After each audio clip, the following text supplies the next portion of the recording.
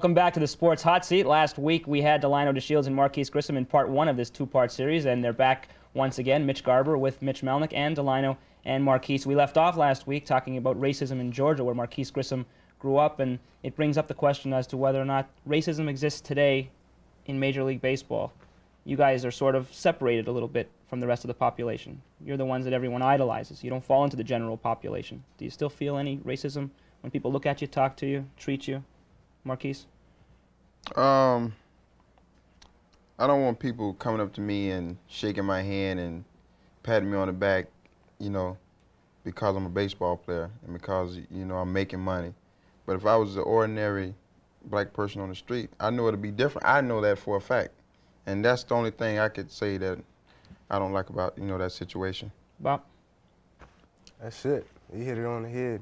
I mean, you, you, you know that you have people that come up to you, shake your hand, look at you just, like just this. Just because you play Major League Baseball. And they turn around and call blacks niggers the next minute. Mm -hmm. Well, I think it was it Reggie Sanders not very long ago out in the outfield was uh, was hurled with uh, racial taunts by I don't want to get the city wrong, blast the city, but I, I, think it was Candlestick Park in San Francisco. The fans out in the bleachers were giving it to him the whole game. And at some point, you guys have heard that do you sometimes just want to like grab people by the neck and shake them or throw them up against the wall? I mean, how do you how do you keep deflecting stuff like that? You can't you can't get physical. I mean, not unless no, I they, mean, I, you know, you feel like doing it. Not that you'd actually do it, but you feel like doing it. Of course, you get angry, but I mean, you know, you have to be uh, you have to be smart too and a little mature about it. I mean, you know, uh, the racism's there. It's, it's always been there, but I'm not I'm not looking for a physical confrontation, not let somebody put their hands on me. You know, then we we gotta do what we gotta do. Not a good idea. Just saying, you know. But how do you learn? I mean, do you learn to eventually deflect stuff like that away and say, "So what else is new?" Or yeah, I'll take the attitude if if it's not in front of me, or like me and you sitting here talking and you know, after that, that's it. You know, they, they can holler from the stands from a distance or whatever. You know, that's something that I can't control. But if we're sitting right here talking, it'll, it'll be it'll be you know pretty much different. The, the fans in Montreal, for example, they see Marquis Grissom, number nine, the center fielder with all that talent. They see Delino, number four, the second baseman with all his talent. What would you like the fans in Montreal to know about you that they can't possibly know by just watching you from 400 feet away? I, I, want the fans to appreciate, you know, me going out there every day and playing, and and I just want them to to appreciate my work. Two know. hits a day, you told me. That's what I aim for. That don't mean I'm gonna get two hits. No, but, but that's you know, that's your job. Go out and try to get two hits a day. Every day. Bop, what would you like the fans to know about you? The ones that I mean, they clap for you, they cheer for you, they love you, but they don't know you. Uh, just that, you know, I'm true. You know, I try to be uh, try to be myself. And what you see is really what you get. I mean, I'm, I'm just me out there. You guys, either of you think you're intimidating figures um, at all? The media have jumped on each of you at different times, more on you than, uh, than on Marquis. Did you, do you feel you're at all intimidating? Do you feel that... Uh, I don't think, I just think if people are scared of, of reality, then they might be a little intimidated by me, you know, because I try to be as real as possible. You like the media? Guys come in the no. room after every game? No. The only reason I don't like the media is because these people can say anything basically about us, and uh, we have no way of retaliating. You're right here? Yeah, yeah, but I'm saying a lot of these people, I mean, a lot of reporters that I see that write about guys being on drugs or having these problems, they got the same problems. They got the exact same problems. And uh, you just don't, they don't get exposed like they expose other people. Grip? No, I don't, I don't. I don't. I don't pay too much attention to the media. I tell them what I have to say, you know, and tell them the truth. And that's that. But you know, like he said, they put things in the paper. They can turn the whole story around, and and make it something that it isn't. So that's the only, you know, negative thing that I don't like about it. But, you know, they don't bother me. They have a job to do. I understand that, and they have a, a family. I have a try to make a living too. So, I just take it as, you know, part of my being in the big leagues or whatever. I'll steal one of Melnick's questions. He asks it all the time. Do you read what's written about you? I don't even read the paper too much. You know, that, that keep my, keeps my mind free. from worrying about what people said or what he said in the paper, or what I said in the paper, or whatever. Yeah, I mean, I'm the same way. I don't run out and get the newspaper, you know, or nothing. But if I happen to see one laying around, I check it out, see what they're saying. If you go five for five and uh, hit two home runs, you go check out the paper. Sometimes I do. Sometimes You guys I don't. watch I don't. yourself on TV? You I ever try to I try to watch myself on TV just for the simple fact that you can learn a lot by Mm-hmm. watching yourself. You can see different things that you're doing, and that's basically why I like to watch it. Here's a steal of home on a but. Was this a busted squeeze? Yep. And Moises is up at the plate. I think at that that was a that was a great play. Yeah, we, we're gonna try to shake something this year. What do year. we have him on there for? Well, this is Pittsburgh. I think this is the game at Pittsburgh last year. Uh, it was on E ESPN. It was in the middle of a pennant race, and you did everything that night. Right? Is that is that your best night? Yeah, had to be. I don't think uh, any player can do too much of anything else. You know, that's just one of those nights where I felt good and everything went my way. That made the last out. We saw you get a curtain call out there. And you come out and tip your hat. Um, we'll never know that feeling. 20, 30, 40, 50,000 people.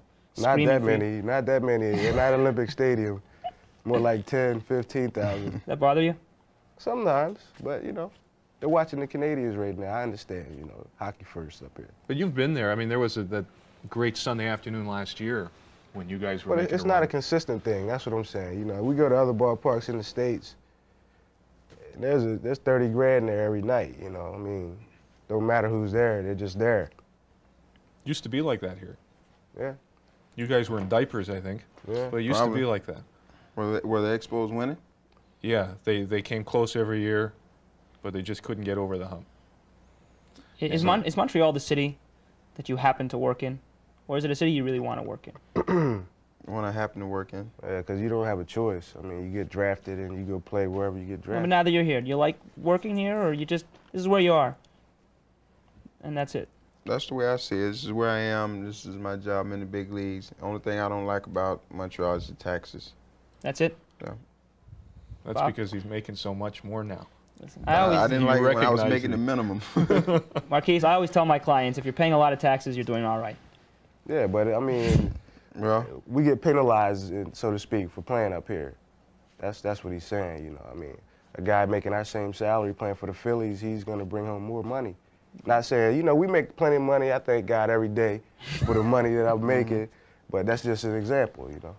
There's a, there's a uh, I don't know which which Delino was that from last year. Which stage was that? I you got the little I'm go- smiling, Anna. You're smiling. There you go. Uh, you must be all right. Trick photography. My wife uh, saw you somewhere around the batting cage in some pregame interview or something, and you were smiling. And she says, "What a great smile! How come he doesn't do that more often?" I just, you know, I gotta have something to smile about, really. I'm not just gonna walk around just, you know what I mean? that ain't him. something He's just smile fake. about. Yeah. Be faking if he did. a lot of people don't know you're a pretty funny guy. I think people think you're a pretty quiet guy. I am. Are you shy? Not no more. I used to be. I, I used to be, when I come on a show like this, I used to be nervous. You know. Yeah. And on the radio, I used to be nervous, but now it's like, That's because he's seen how just I handle do it. That's, That's why we got Bop in here. Yeah, yeah, yeah. We didn't want some frozen center fielder sitting here like, Nah, them days are over. You know, I- everybody was like that. I Next think, time we'll have you know, alone, When they then. first came up, you know, all players, athletes, entertainers, you know, when they first, you know, been on being on TV and everything. You was nervous when you first did an interview, wasn't you? absolutely. Okay. First pleaded a trial, Okay. walked down the aisle.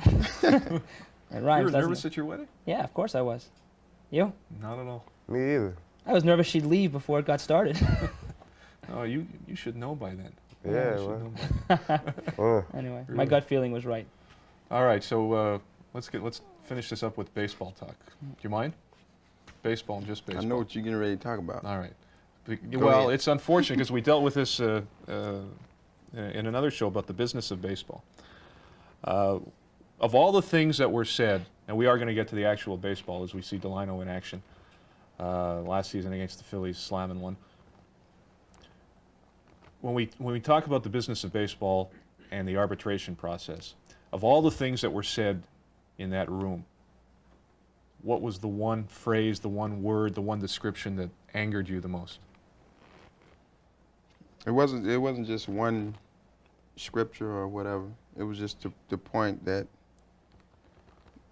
that people that they had to to, to to use, you know, like my numbers, my stats, and to, to tell me how good I am. You know, can't, they can't tell me how good I am. I know what type of year I had, and over some money. You know what I'm saying? They don't. It didn't have. It didn't have to be done the way that they did it. But it didn't bother me at all because I knew it was a business move, and I knew they had to do what they had to do. They had to downgrade me as much as possible. They, they don't believe what they said. good. You know, I think you should know, you probably do, that they don't believe what they said in that room. They don't really believe it to knock you down. I That's believe done. it. That you believe that they believe that? Why shouldn't I? Do you know for sure whether they do? No, I know. So I don't know. This is what I'm trying to get at. What exactly was said, but that is done in every arbitration hearing, in every ball club, in every organization, and uh, they'll turn around and if they, if Dan Duquette wants to give a description of Marquis Grissom, he'll talk for the next five days about what a great ball player you are. I could confi- I can confidently tell you that they didn't mean it. And Bop's right when he says, "Do you know for a fact?" And the answer is no. But having been involved in so many negotiations, hey, the, the whole key is we got to walk in there and say why we shouldn't pay Marquis this. Mo- we want him, but we don't want to pay him anymore. It's a business. We would rather pay him two than three. I understand that Two and a half too. and three and a half. They can't possibly mean it. They know how good you are. They know who. I mean, if they think that of you, then they would be the only ones who would think that of you. You got to think. You got to realize that. Everyone else in the whole world of baseball, fans, media, and players included, know that it's not true. But you said to Mitch just earlier, you said it didn't bother me at all. Now, if it didn't bother you at all, you know, then I'm lost at why we're talking about it because the whole premise was that it bothered you a lot. I'm here playing. You sure are. I'm happy. Did it bother you, Delino, that uh, that whole incident happened with Marquis? Yours was just settled before going to arbitration. And I remember sitting on this show saying, I hope they don't go to arbitration with either one because of that very reason. But after the arbitration, we sat here with Terry Haig and, and Jeff Blair of the Montreal Gazette, and uh, I said, hey, Marquis has got to realize this is just this is business. This is nothing. He should just walk away from that hearing, and, and, and that'll be, that should be the end and of it. And I did. And you did. And I did. Yeah, but it's still there. nah. No, I mean Every it's time still, it's still You know here. saying? It's gonna stay in the back of my mind. You know, it's gonna stay there. But the thing about it, you know, people keep bringing it up. It's dead in my in my. you Okay, know, because the only so. reason people keep bringing up is people are a little concerned that uh, at some point when you have the opportunity to write your own ticket, that that will be a factor. That if they don't lock you up, for example, in a long-term deal, that uh, you'll say the closer you get to become eligible to test the market, Mm-hmm. the more tempting it is for you, and your thought process will go back to that arbitration hearing and say, Be why should I give them a break anyway? You're gonna be like it's just business, fellas. You know, Yeah. I, I was taught that you treat people the way you want to be treated, or you treat people how they treat you, or whatever. You know. I'll tell you, I'll say something very unpopular with the Montreal Expos, and that is if they don't lock these two guys up in the long term, they deserve to lose them both. Say Well, the same a- thing for, well, for Larry Walker. Uh, Moises. Moises Alou. They don't lock them up Wetteland, long term, they deserve to lose them all. You guys know what the Cleveland Indians are doing? Now that was a good gesture. I mean, personally speaking, that was that showed me that they're really committed to those guys and, and trying to do something good in that city. But you know, It wouldn't make you play any better, though. no. But it's just the idea of, of just keeping your ball club together, and that doesn't happen every. I mean, a lot now in uh, in sports. You know, guys are switching teams and this, that, and the other. And, and I would like to see us keep our team together. And that's that's what it's all about. For the benefit of the fans who don't know, the Cleveland Indians have basically locked up the core of their talent, their young talent, for years with multi-year contracts, and a lot of people in, uh, in, in fact, even members of the Players Association aren't thrilled about it because they feel they've given up some money for security. But when you get when you get into the millions, at what point does money stop mattering? I mean, what? I mean, do you have a figure in your head? Well, geez, uh, I think three million's enough, or four million, or six million, because you know how money can work. You know what greed is. You know what temptation is. Yeah. I I think Bonds showed that when you get up that high, you choose the city you want to be in. Pretty much, why not? I mean, you're talking about 13 million or 13.5 or 14 million. Then you start thinking about where you want to live and raise your kids. I think that's important too.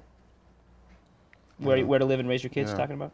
At some point, the money is not that important. You know, I mean, you make enough that you can walk away from the game and be fine. But it, like he said, you know, it's more about where you want to end your career, this, that, and the Mhm. other. You know. But what about the, you know, there are some athletes in every sport, Rickey Henderson in baseball, for example, and this is where fans have a hard time dealing with a lot of today's athletes who make a lot of money is a guy will sign a contract and then find out what so-and-so on his team or so-and-so in, in the same position is making, and he thinks he deserves more, and after signing a contract for $3 million, which a lot of fans just cannot relate to, complains about it. I don't I don't agree with that. I think if you sign, you know, you play for what you signed for, mm-hmm. regardless of what happens. You know. That's the market. That was the market at the time. You know, it, it changes every year. And he signed a, a three-year deal for whatever. I, I'm pretty much, I'm pretty much sure he felt that he was secure at that time. But the next year it changed. Do you, do you see fans getting angrier uh, a lot more quickly these days because of the money you guys make? Do you think that's a factor? That's the first thing they bring up. But I think, me, I think it's not the money. I think it's who's making the money. No, I think I think what Mitch means is when a guy's making two, three million a year, he goes 0 for 4. You know, your average fan's gonna go, three million dollars a year. Walk out of the stadium and, go home and keep talking about it in the car. Three million dollars a year, 0 for 4. This guy's a But- choker. But, but once again, like I said, I don't think it's the money, so what to do you speak. mean? What do you mean?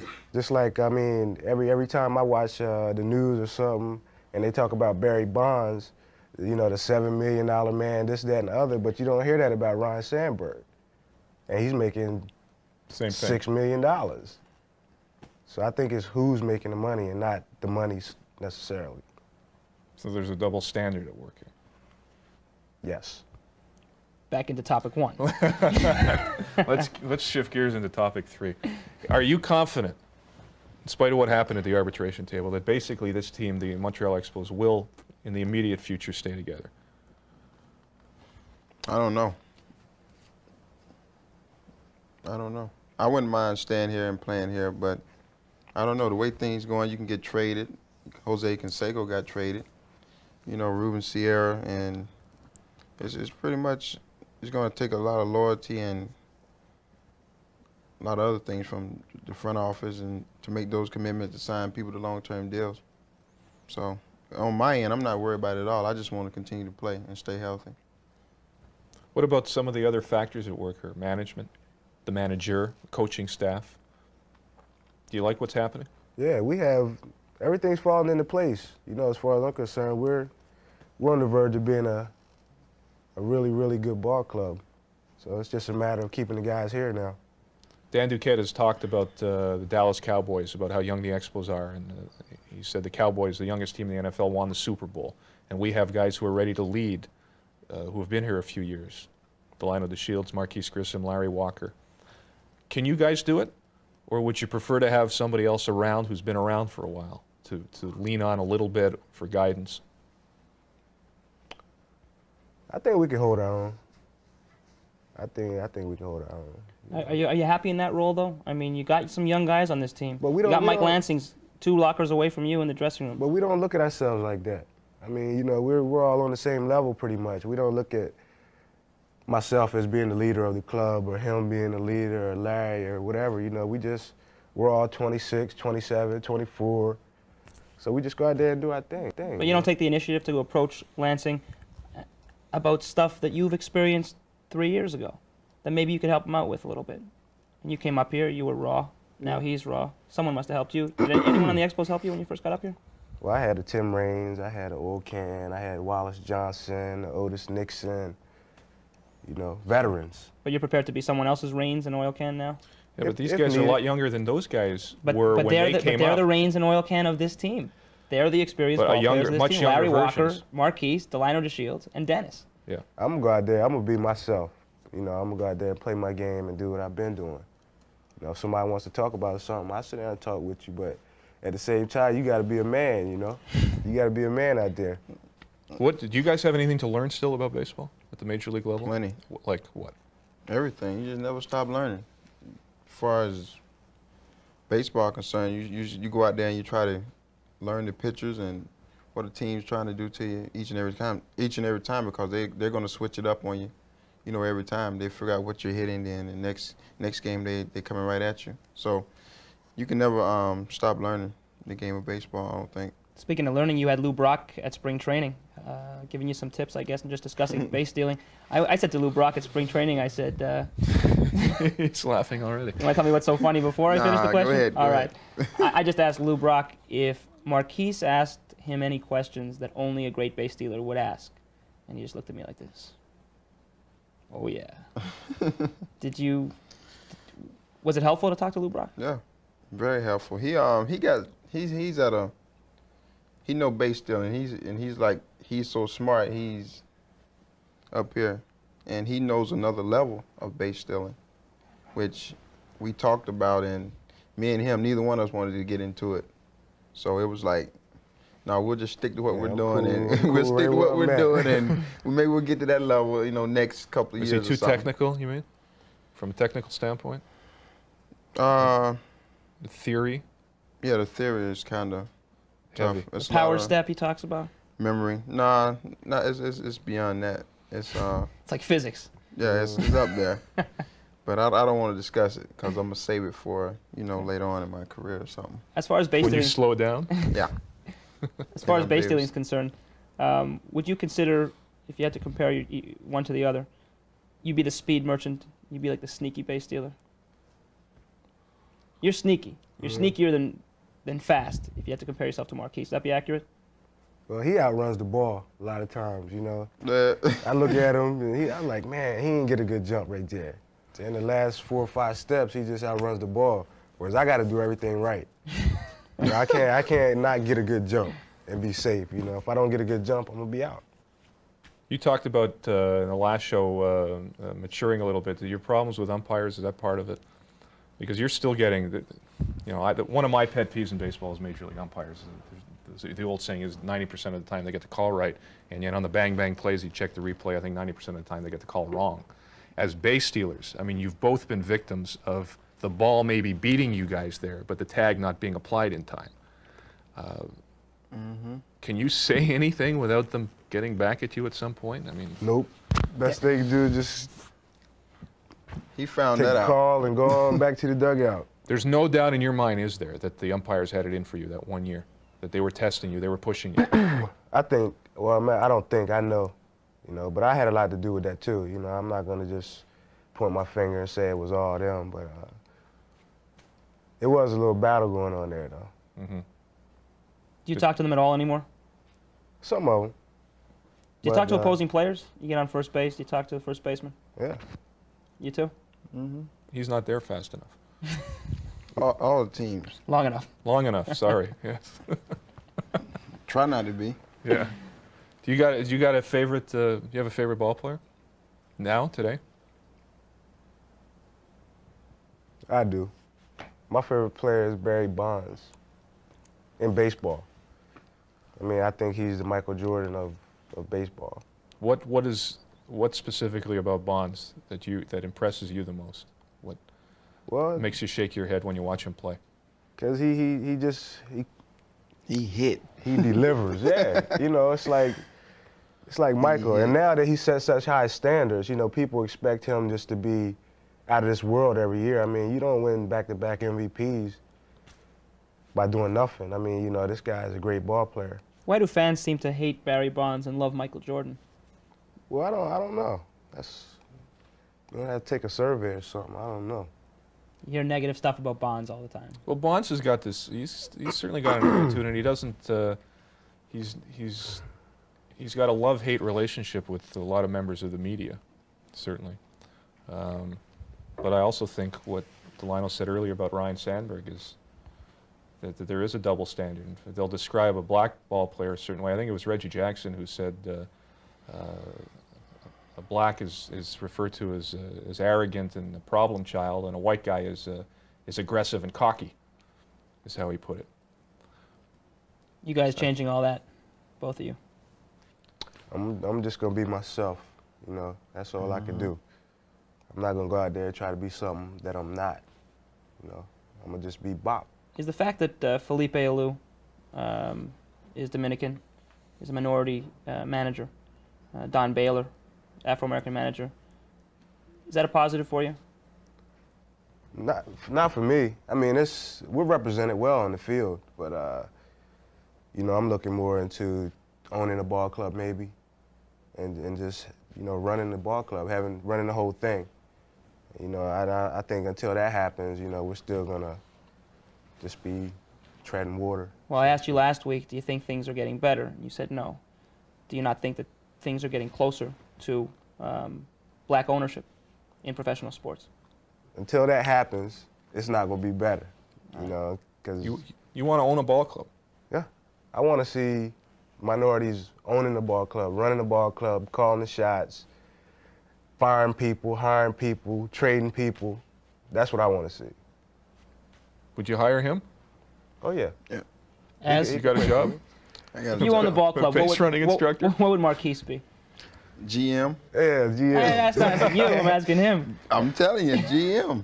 No, I'd, I'd, I'd give him a job where he could just sit on his butt and just sit back and, and make a hundred grand. So you'd be a. GM and you'd have to go to arbit, take some of your players to arbitration, say really nasty things about them, even I though you didn't would. mean it. I'll get them. I'll stick it to them.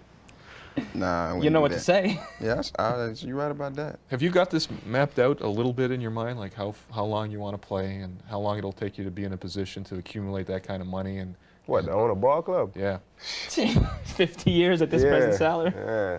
Nah, I mean, Well, what you would obviously wouldn't be the sole owner, right. but if you can get a group together and I like well, that. who's doing um, it in the uh, NBA? NBA?